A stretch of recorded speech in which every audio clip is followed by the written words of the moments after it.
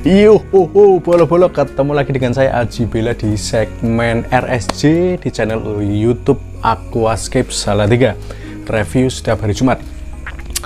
Jadi di setiap hari Jumat kita akan nge-review tentang berbagai macam produk-produk tentang aquascape mulai dari produk-produk yang esensial, produk-produk yang berkualitas, produk-produk yang penting banget untuk aquascape kalian sampai produk-produk yang enggak penting-penting amat.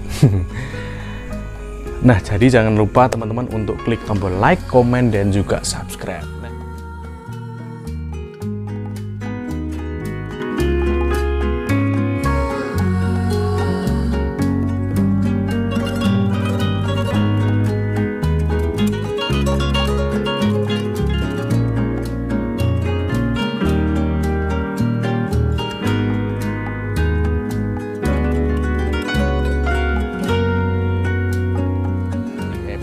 Ini kita itu lebih mau ke cerita aja, lebih ke sharing-sharing untuk episode kali ini.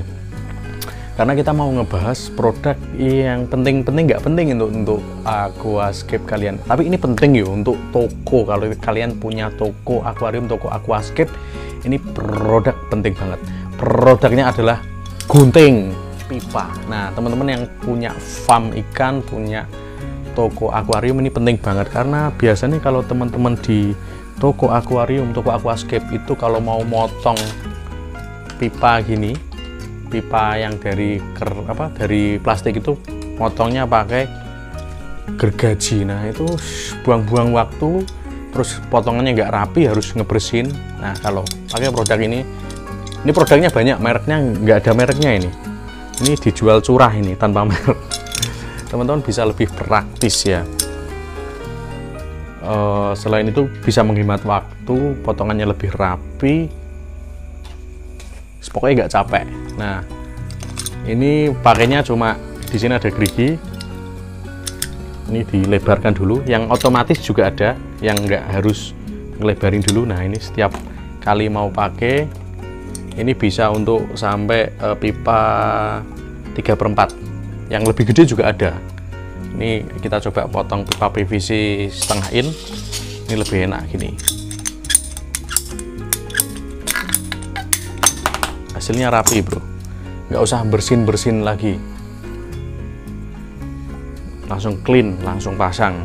Nah ini juga untuk Mas Ferry produsen kanister ternama ini juga masih pakai nganu kelihatan nih masih pakai gergaji besi ini pakai ini ya.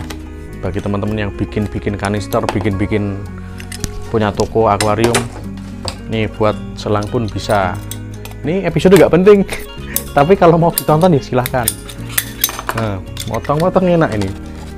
Ini bisa juga untuk motong gaji bisa ini. Nah ini episode memang kurang penting tapi nggak apa-apa ya.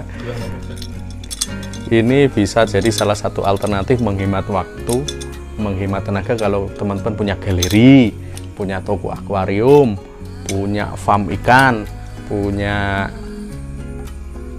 Nah, bagi para istri yang punya suami-suami pengakuascape yang suka dibohongin, nih beli ini nggak apa-apa, diancam aja pakai ini. Ini macam-macam ngapusi beli Anubias Viper harganya ngaku 15.000 nih diancam pakai ini potong pakai ini anu nih bisa nah itu dulu. Mohon maaf ini kontennya agak guyonan uh, untuk penghobi aquascape bukan maksud marahi istri-istrinya seperti itu tapi ya berbijaklah dengan aquascape hobi kalian karena jangan sampai kalian nuruti hobi kalian bisa menimbulkan kekacauan kegaduhan rumah tangga kalian. Nah ini uh, masih jarang yang pakai ya? Apa saya yang kurang wawasan aja gunting pipa. Oke itu aja kesempatan kali ini. Mohon maaf jika ada kata-kata yang kurang berkenan, kurang uh, berkenan di hati teman-teman kalian atau teman-teman sekalian. Mohon maaf.